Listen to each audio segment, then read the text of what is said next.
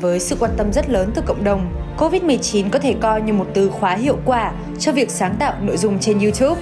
Tuy nhiên, bên cạnh những nội dung tích cực thì những hiện tượng câu view chưa phù hợp cũng chiếm một lượng không nhỏ.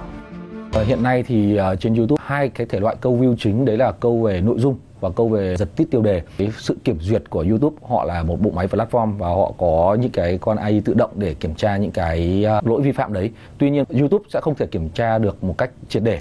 YouTube đã thực hiện rất nhiều chính sách đối với những nội dung liên quan tới Covid-19, trong đó có việc từng hạn chế bật kiếm tiền. Tuy nhiên, hiệu quả tương tác của những video với những tiêu đề gây tò mò như thế này vẫn là mục tiêu hướng đến của nhiều YouTuber. Không biết là cái mục đích của mình khi mà sản xuất cái video là gì nhỉ? Dạ, giải trí thôi. Cái video đấy là mình nhận được khoảng bao nhiêu view hả bạn? Tầm 600 nghìn view. Nhận được khoảng bao nhiêu comment nhỉ? Khoảng uh, gần 1 nghìn.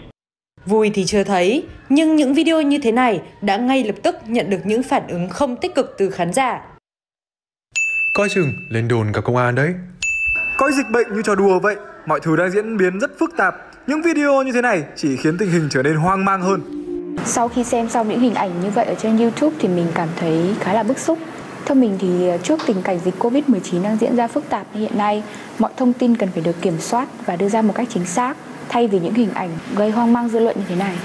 YouTube đang quản lý trực tiếp hơn 13.000 kênh YouTube tiếng Việt, trong đó có 55.000 video có nội dung xấu và đã gỡ bỏ hơn 5.000 video.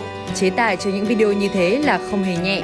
Có những người đã đóng giả hoặc nói dối là mình bị bệnh tật gây hoang mang thì những hành vi trên chính là những cái hành vi cung cấp nội dung thông tin sai sự thật và những hành vi đó có thể bị phạt tiền từ 20 đến 30 triệu đồng theo quy định tại điều 64 của uh, thông tư số 174 năm 2013. Hiện hầu hết các video có nội dung, thông tin sai lệch về dịch Covid-19 tại Việt Nam đã được các chủ tài khoản gỡ xuống.